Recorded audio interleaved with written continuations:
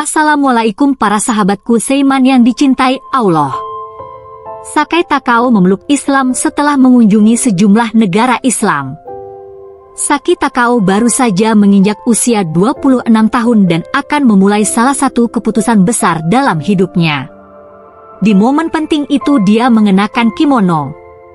Dibantu ibunya, Takao memilih pakaian tradisional Jepang berwarna merah muda.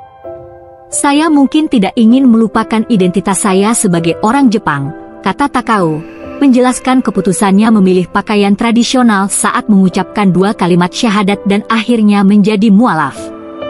Berprofesi sebagai guru sekolah menengah, Saki Takao menjadi muslim pada 25 November tahun lalu, di ulang tahunnya yang ke-26.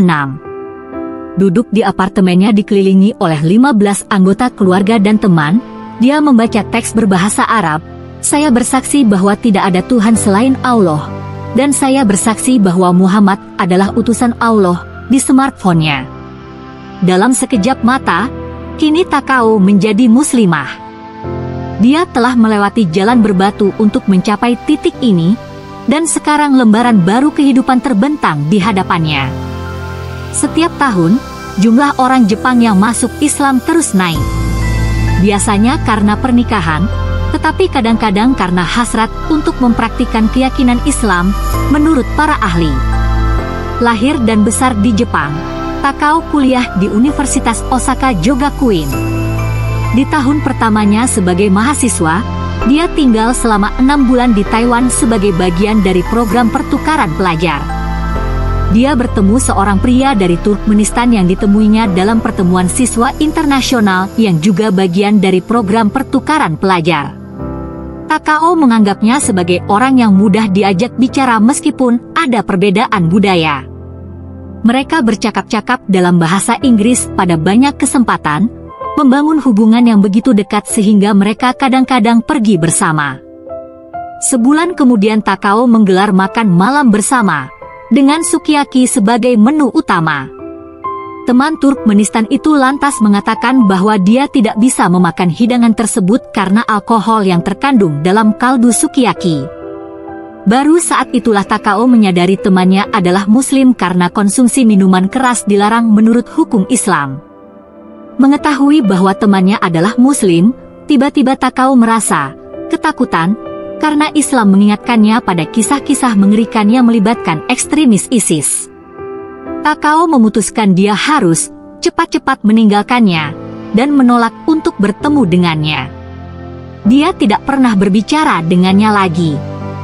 Takao mulai merasa malu terhadap dirinya sendiri usai kembali ke Jepang. Dia belajar jurusan internasional dan bahasa Inggris di universitas.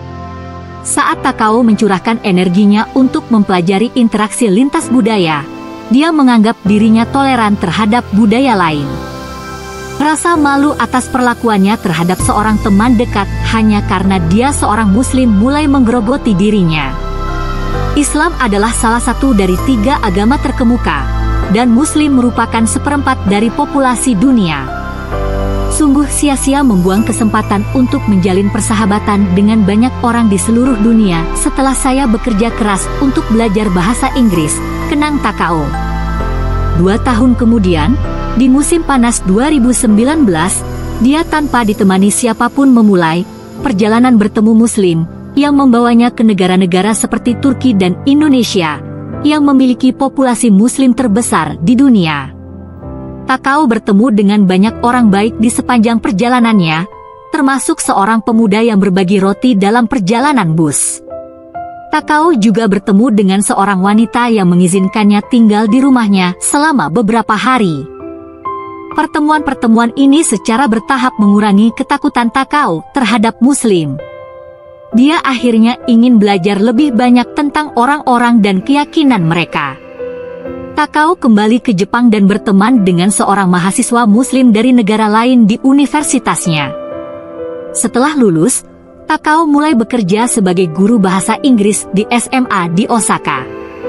Takao sering kali mengangkat perbincangan tentang Islam di kelasnya dan mengetahui bahwa murid-muridnya mengasosiasikan agama tersebut dengan terorisme. Kesan negatif dari sejumlah kecil orang tampaknya membayangi yang lainnya, katanya. Para siswa seperti saya dulu. Takao mulai sering mengunjungi masjid di lingkungannya untuk belajar lebih banyak tentang agama tersebut. Dia pergi ke sana hampir setiap minggu dan mencoba makanan halal tanpa babi dan alkohol yang disiapkan sesuai dengan aturan Islam. Takao juga merayakan bulan paling suci umat Islam, Ramadan dengan turut berpuasa dari fajar hingga matahari terbenam. Dia mendapati dirinya tidak mengalami banyak kesulitan saat melaksanakan puasa. Aspek keyakinan lain yang ia khawatirkan adalah cara laki-laki dan perempuan diperlakukan meskipun kesetaraan gender yang dipaksakan. Takao mengalami hal tersebut setelah berkomitmen menjadi guru full-time. Melihat persahabatannya, Takao merasa diperlakukan sama terlepas dari perbedaan kekuatan fisik dan beban kerja hanya karena mereka mulai bekerja sebagai guru di tahun yang sama. Sementara dalam Islam, ada standar kesetaraan karena perbedaan fisik antara laki-laki dan perempuan, jadi dia merasa kedua jenis kelamin dihormati secara setara. Gaya kesetaraan ini beresonansi dengannya. Takao sangat ingin pindah agama karena dia belajar lebih banyak tentang keyakinan Islam. Takao mengungkapkan keinginannya untuk masuk Islam kepada keluarga. Seperti rumah tangga di seluruh Jepang, keluarganya percaya pada agama Buddha dan merayakan Natal dengan kue. Ini adalah keluarga khas Jepang. Ibunya, sambil menangis, mengatakan bahwa dia sedih karena mereka tidak dapat menikmati hidangan daging babi bersama, tetapi dia tidak bisa menolak ide tersebut. Sang ayah memperingatkan Takao bahwa orang yang baru pindah agama hanya akan melihat hal-hal yang baik dan memperingatkan putrinya tentang sisi negatif agama. Tetapi jika kamu siap untuk itu terjadi, yang perlu kamu lakukan hanyalah memikirkan masalah itu nanti setelah kamu menerima doktrin tersebut, katanya. Kata-kata ayahnya muncul sebagai dorongan semangat bagi Takao.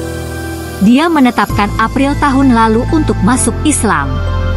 Takao mengambil keputusan itu dengan sangat enteng sehingga dia merasa dia bisa melakukannya kapan saja. Tapi saat hari naas itu mendekat, Takao mengalami kesulitan tidur dia akan mengerang dengan mimpi buruk dan bangun di tengah malam.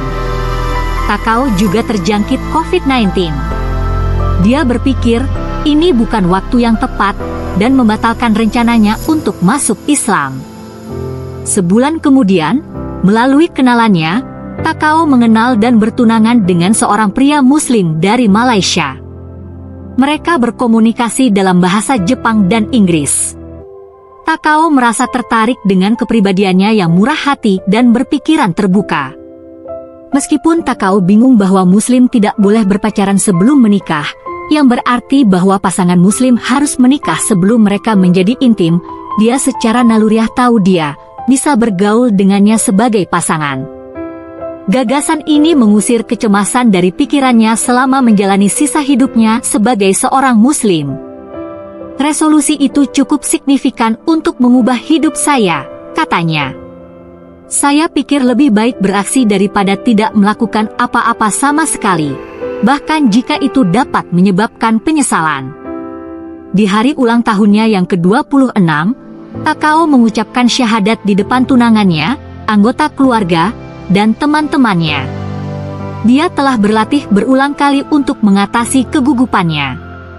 Usai mengucap dua kalimat syahadat, Takao merasakan kelegaan yang luar biasa. Di tengah momen tersebut, tunangan Takao lantas melontarkan sebuah pertanyaan. Maukah kamu menikah denganku?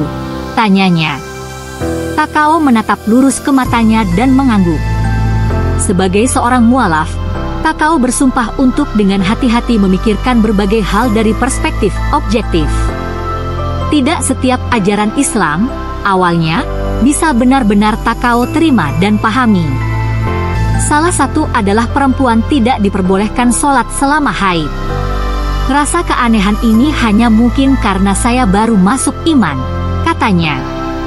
Saya ingin selalu mengingat perasaan itu sejak saat ini dan seterusnya selama sisa jalan agama saya. Dia menceritakan ketertarikan pada dirinya yang baru. Hidup dalam masyarakat Jepang juga bukannya tanpa kesulitan, kata Takao. Saya dapat lari ke dunia Islam jika saya merasa mereka tak tertahankan. Sekarang saya memiliki dua masyarakat yang terbuka untuk saya. Itulah kisah mualafnya Takao. Allahualam bisawaf. Sampai jumpa, jangan lupa sholat ya. Assalamualaikum warahmatullahi wabarakatuh.